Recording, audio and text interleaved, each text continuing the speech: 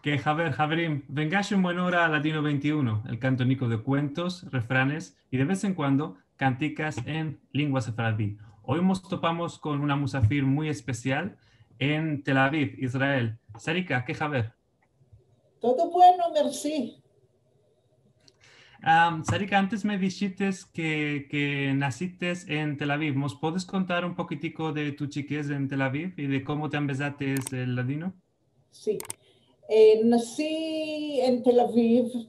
Mis parientes vinieron eh, de Salonic antes de la guerra, en 1933. Llegaron en, eh, cada uno aparte, llegaron en Tel Aviv eh, aunque son, eh, eran de los dos de Salonic, se encontraron en Tel Aviv y se casaron. Eh, la familia quedó atrás en Salonic y casi todos se exterminaron en Auschwitz. Mm, mm. yo nací en Tel Aviv, yo tengo, tenía dos hermanos, hoy tengo solo uno. Eh, nacimos en Tel Aviv. Eh, eh, mis parientes moraron primero en el Cartier Florentín. No sé si... No, no conozco, no conozco, nada de, de, Tel Aviv. Para los que no conocen y nos están sintiendo ahora. el Cartier Tel Aviv se estableció, el Cartier Florentín, perdón, se estableció eh, gentes de Salonic, la familia Florentín, eran muy, muy eh, familia grande y rica, vinieron antes de la guerra en eh, Tel Aviv y formaron un cartier que casi todos los eh, selaniclis, los griegos, judíos, que estuvieron a la Palestina, antes era Palestina, no, no Israel, eh, eh, establecieron este eh, cartier y ahí casi todos moraban ahí en Florentín. Era como un cartier chico, Salonic la chica. ya, se, ya se puede decir que que se conocieron, ama, no fue, no fue totalmente un accidente, por mor de que moraban en el mismo Cartier. Cartier, sí. Eh, ahí se casaron, ahí dos de mis hermanos eh, nacieron ahí y después pasaron, la, eh, moraban dos familias en un apartamento, eran las condiciones eran muy, muy eh, duros.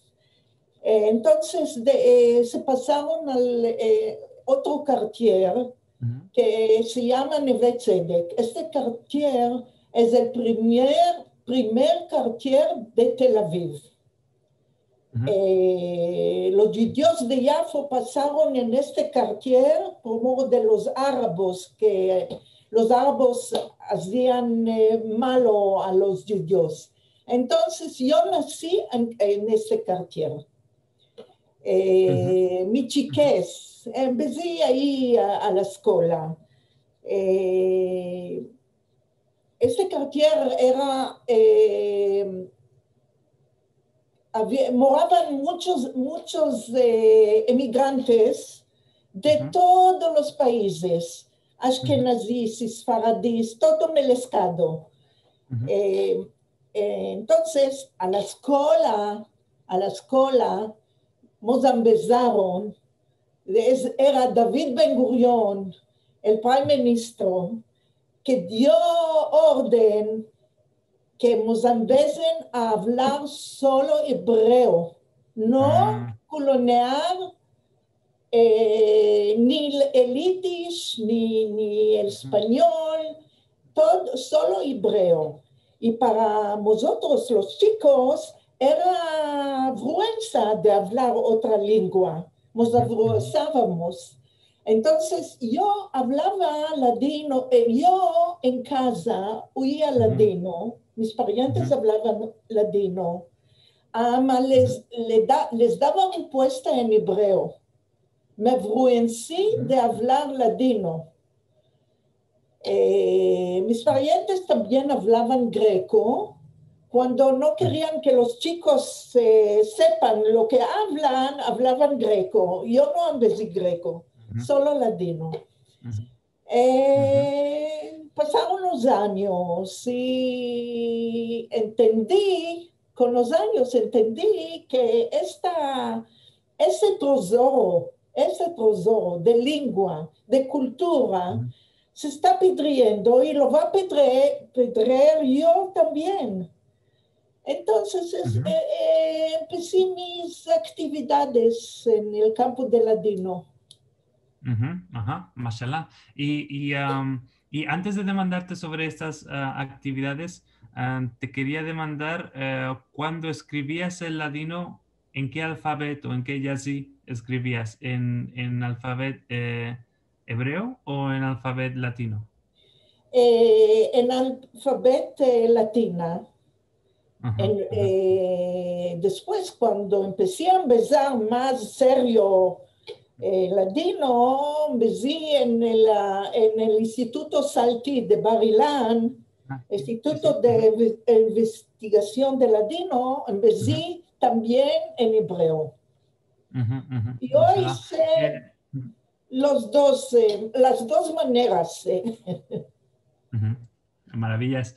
Y, ah, y Dunque, ¿cuáles son estas actividades que, que principiaste, que empezaste a, a hacer para adelantar la lengua? ¿Cuál nos puedes contar de esto? Eh, en primero decidí ir a empezarme el ladino, a empezar profundo el ladino, porque en casa hablamos ladino muy simple.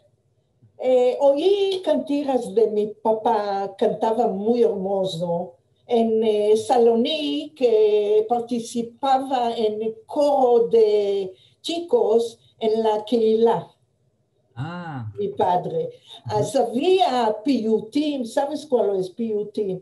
Piyutim, eh, eh, de, de la Quila, ¿sabes? sí, sí, Y sí. sabía cantiras eh, de babajadas eh, y, mi ma- y mi mamá y mi papá, pero más mi mamá, nos eh, dio educación con verbos.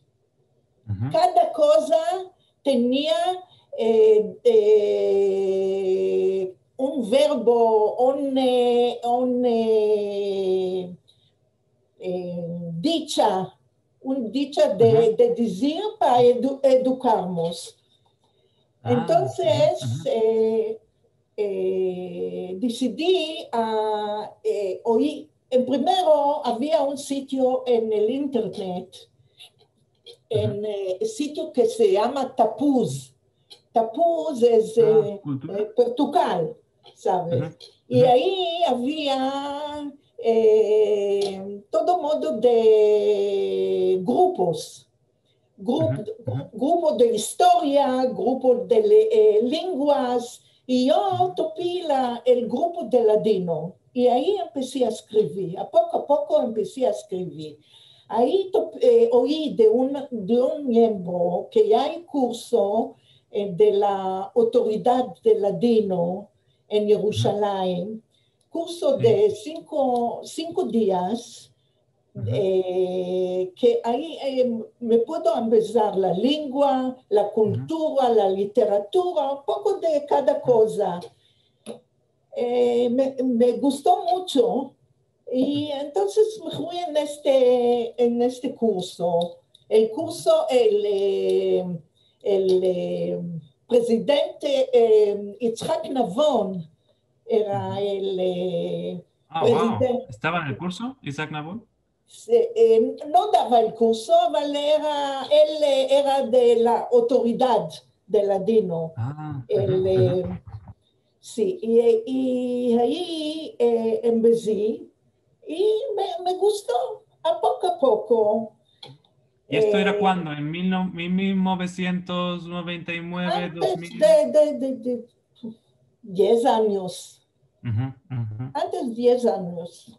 Eh, bueno, el ladino hablé todo el tiempo, desde el día que, que, nací lo hablé. Ama, eh, en, pasando tiempo, cuando me grandecí, eh, y mi, mi padre nos dejó la vida buena y quedó, mi mamá quedó sola, eh, se envejezó, se hizo vieja y tornó a hablar la lengua maternal suya.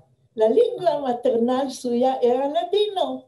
Ah. Eh, no, no, tenía que, eh, que quería el contacto con ella, quería hablar, quería hacerle bueno, porque cuando sentía latino, eh, la luz la luz entraba a los ojos y estaba muy, muy contente, estaba rosa, mucho rosa.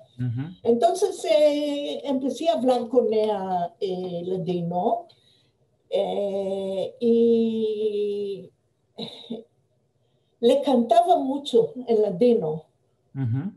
Le placía mucho que le cante en ladino. Y cada encuentro con ella, era con cantes en latino. ¿Te acuerdas de alguna, de alguna cantica en particular? Eh, tengo una conseja, eh, una eh, anécdota sobre una cantina, si quieres oírla. Sí, sí. Abre tu, abre tu puerta cerrada que en tu barco